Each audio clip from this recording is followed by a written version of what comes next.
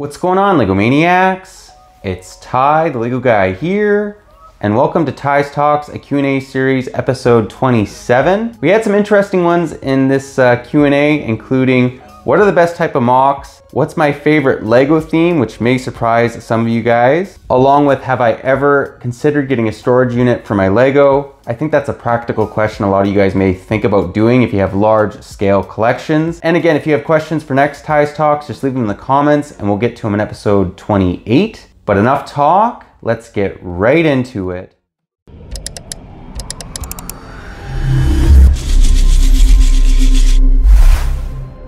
And our first question comes to us from JH, also known as Jonas. And he asks, question, what do you think about the rumor that we might get a $350 castle in late summer this year? Because it got me really excited and I'm already starting to save up. Okay, so I've heard about that rumor as well. That's for the 90th anniversary set, in case you guys are wondering. And it was between Bionicle Castle, Pirates, and Space. I believe I got that right. I'm all for getting a huge castle. We haven't got a big scale castle, I don't think at that size ever. If I'm being perfectly honest, I actually really wanted Adventurers to win just because I don't think they've been given enough love lately and they are one of the best themes that's ever been made. However, I'm still very happy about that. Extremely excited, but let me know what you guys think about the 90th anniversary set being a castle set. I'm excited about it. I think that I'm definitely gonna buy it. I just think that there's maybe other themes that maybe haven't been given enough representation as of late, but still, all in all, who doesn't want a big scale castle? Scott says, Ask Tie, hey Tie, have you ever felt overwhelmed by the number of sets that you own? Have you ever considered a storage unit for some sets? Thanks. So it's interesting you bring this up. I did have a storage unit in the past, and I have to say it was the worst amount of money I spent ever. Like, you know, when you have insurance or, you, you know, something like that and it's $200 a month. Well, that storage unit was 200 Canadian a month, roughly, which works up to about 150, 160 USD. It was the worst amount of money I ever spent on anything. I hated it coming out of my account every single month. So I would admonish anyone who's thinking about getting a storage unit to avoid it at all costs because $200 a month, that works out to like $2,400 a year, which is about I don't know, 1800 USD a year. You can buy a lot of Lego with that. You can do a lot of money with that, or you can do a lot of things with that, I should say. So yes, I have had a storage unit, but I really want to avoid that. If anything, I'd like to maybe rent or own an apartment that has two bedrooms and just have a room dedicated to Lego. But yeah, my advice would be don't go down that road because it ends up being extremely expensive unless you can get a storage unit for a fair price. Alpha Bricks channel says, here's another very important question. In your videos, we get to see you only from the waist up. So show us all your shoes. And because you asked, I will show you guys my shoe collection. I'm actually a big shoe clothes guy. I like watches as well. Uh, yeah, here's my collection. Haven't been really been able to wear a lot of these shoes lately just because of COVID, but since that's starting to sort of slow down, I'm hoping to wear these a lot more often. Anyways, interesting question. I like to collect shoes as well as watches. I guess it really goes with being a Lego collector is you tend to like to collect different things. Karma Brick Creation says, what is your favorite type of MOC? Modern, realistic, classic, style, etc. Also, what theme do you think it's best for making MOCs. Okay, so I'm gonna surprise you guys probably with my answer. As much as I love Star Wars MOCs, and I have made Star Wars MOCs in the past, they're not my favorite simply because although they're extremely creative with coming up with a certain scene or, or, you know making it accurately to what we see in the movie, they're not as creative as someone who just comes up with something based off purely their imagination. So if it's like a fantasy MOC, a castle MOC,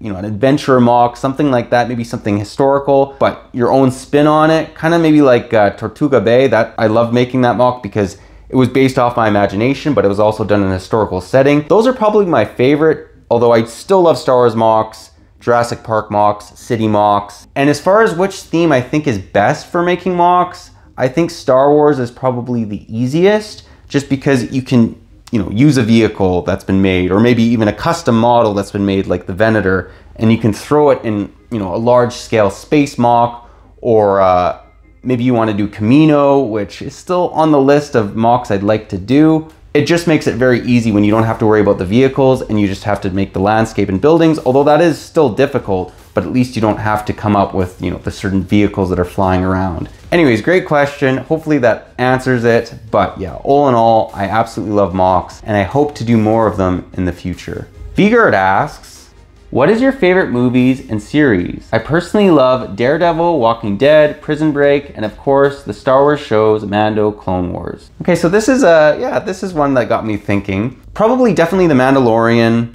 Clone Wars, love those, The Bad Batch.